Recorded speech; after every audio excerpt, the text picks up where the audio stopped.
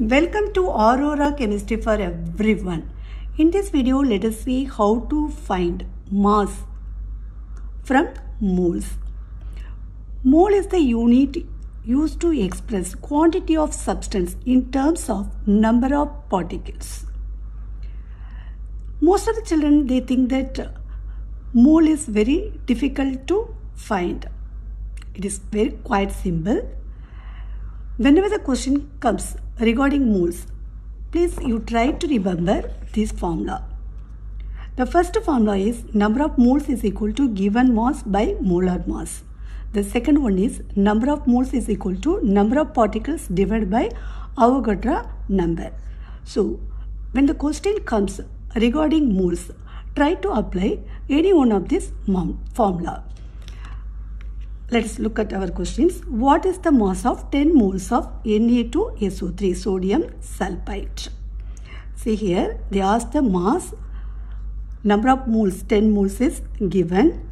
Then the molecule also given. So from that we can find out molar mass.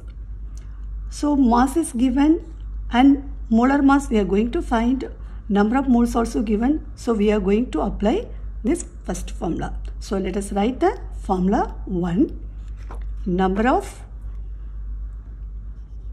number of moles is equal to given mass by molar mass. Okay, say number of moles is given 10 moles. They ask the mass. Then molar mass we are going to find now. So let us arrange the formula first. So M, let us keep it here. Molar mass we will bring to this side. N into, this is capital R. Okay. So to find the molar mass, first we are going to find molecular mass of sodium sulfate.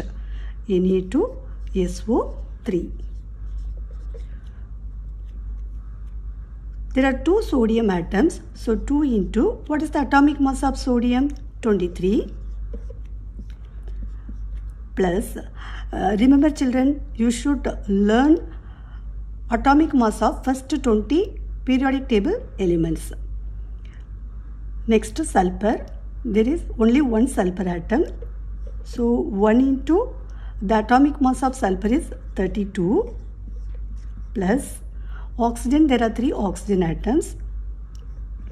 So 3 into 16 we go to add all this because the sum of atomic mass of atoms in a molecule gives molecular mass.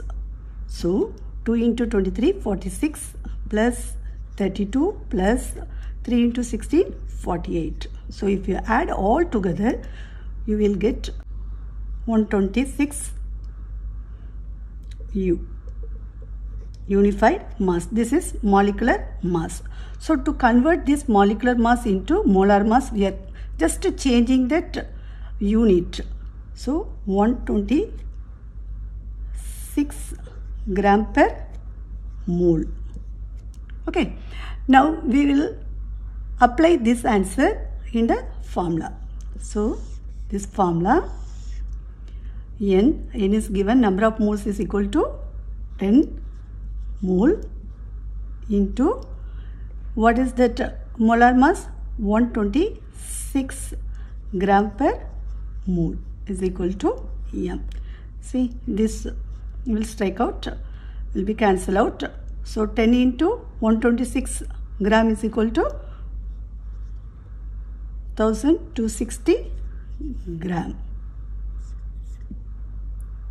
So the mass of 10 moles of sodium sulfate is 1260 gram. Thanks for watching.